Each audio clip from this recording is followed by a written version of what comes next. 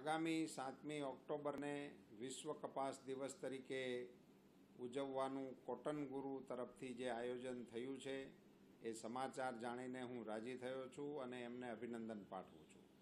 કપાસ, ભારત, ગુજરાત અને ખેડૂત એ બધા જ એકબીજાના પર્યાય શબ્દો હોય એ પ્રકારનું આ કપાસનું મહત્ત્વ છે.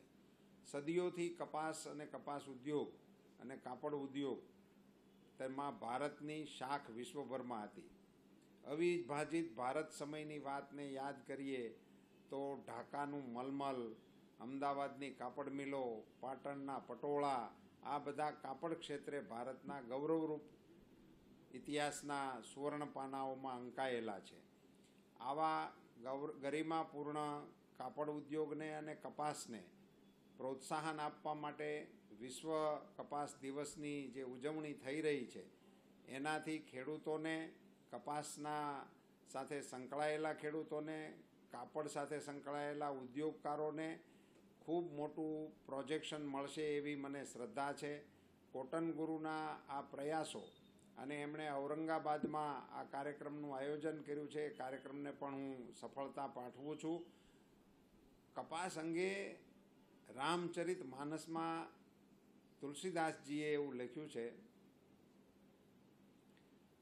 કપાસના ગુણોને સાધુના ગુણોની સાથે સરખાવ્યા છે. કપાસના ગુણો જેમ રસ, ગંધ, રૂપ વગરના હોય છે, એવું ચરિત્ર સાધુઓનું હોય છે. પણ સાધુઓ બીજાની પીડાને હરવાનો પ્રયાસ કરે છે, એમ કપાસ પણ જાતે કંતાઈને, વણાઈને, બીજાના છિદ્રોને ઢાંકવાનું કામ કરે છે. એટલા માટે કપાસના ફૂલનો વર્ણન સાધુ ચરિત્ર સાથે રામચરિત માનસમાં કરેલું છે. એ કપાસને વિશ્વ દિવસ તરીકે ઉજવવા માટેનો જે નિર્ણય થયો એને આવકારું છું અને આ ક્ષેત્ર સાથે સંકળાયેલા સૌ કોઈને આ કાર્યક્રમમાં ભાગ લેવા માટેની પણ અપીલ કરું છું.